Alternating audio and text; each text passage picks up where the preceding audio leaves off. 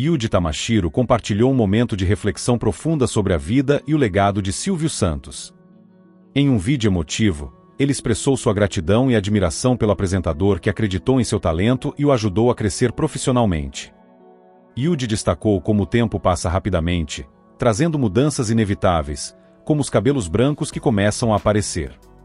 Ele mencionou que, com o passar dos anos, as coisas materiais perdem seu valor, e o que realmente importa são as lembranças e os ensinamentos deixados por pessoas como Silvio Santos.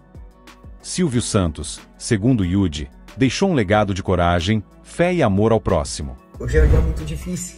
Resolvi começar o vídeo mostrando isso daqui, ó. E cada dia que passa eu me desprendo mais disso. E cada dia que passa eu entendo ou não entendo.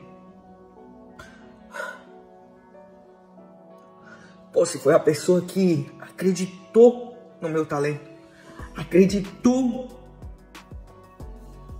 que eu poderia desenvolver algo melhor.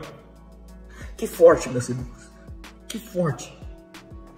Eu tenho certeza que você que está assistindo esse vídeo aí, mesmo não tendo momentos no camarim, mesmo não conversando, parece que saiu algo, né? Estranho, mano.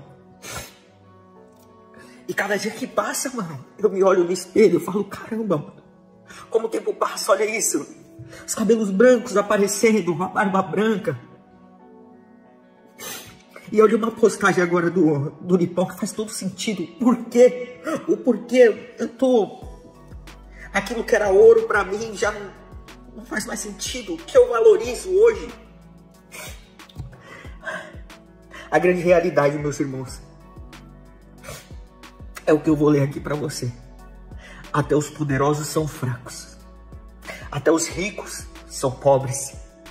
Até os fortes são vulneráveis. A morte nos lembra que nós somos pó. E a ele voltaremos. A ilusão da vida nos faz esquecer o que jamais deveríamos esquecer. Somos criatura de um Criador. Meus irmãos, eu creio que a maior riqueza que o Silvio nos deixou foi, ou deixou para sua família, foi os seus ensinamentos. A coragem de fazer a coisa certa. O amar a Deus sobre todas as coisas e amar ao próximo como a ti mesmo. O maior ensinamento que ele me deixou foi a preocupação de passar a melhor informação, de ensinar o próximo como caminhar, o que fazer de correto. A maior fortuna do Silvio Santos, meus irmãos, são suas filhas tementes a Deus. Você rodar o Brasil todo, você rodar o meio da comunicação e ninguém falar mal de suas filhas. A grande realidade é que isso eu ouvi de um grande empresário.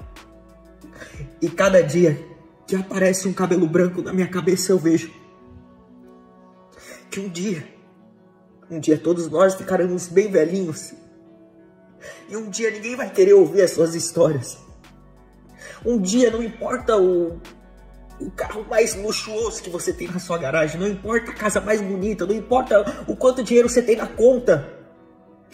Um dia você não vai ter mais disposição de sair da sua cama. Um dia a única pessoa que vai querer ouvir as suas histórias é a sua nega velha, parceira de sempre, ali na cama junto com você. Um dia você não vai ter nem mais fôlego para levantar da sua cama e andar na sua casa gigantesca para ir até a cozinha. Um dia você não vai ter disposição para entrar na sua Porsche e fazer uma viagem. Um dia você a única coisa que sobra, meus irmãos, são as suas lembranças. A única coisa que sobra é a sua consciência limpa. A única coisa que sobra, meus irmãos, é lembrar de quantas pessoas encontraram o caminho certo através das suas atitudes. Silvio Santos, obrigado. Obrigado. Meu pai que também se foi me ensinou a ser fiel, verdadeiro. E você, Silvio, me ensinou a ser ousado e acreditar no que cada um carrega dentro de si.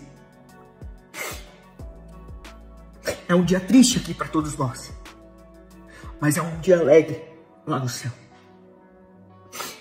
Eu tenho certeza, Silvio, que nesse momento você está encontrando meu pai.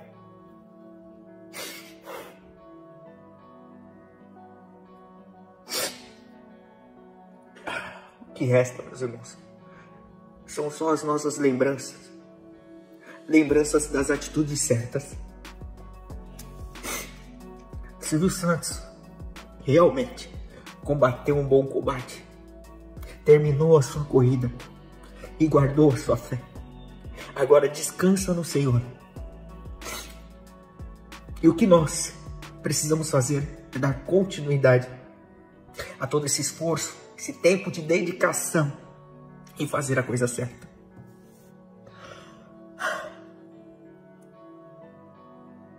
Os prêmios vão surgir, coisas materiais aparecerão, mas o nosso coração tem que ter a clareza de que realmente nós somos simplesmente a criatura de um Criador.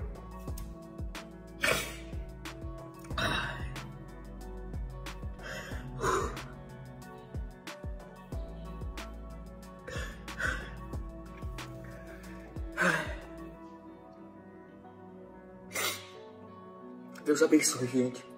Deus abençoe.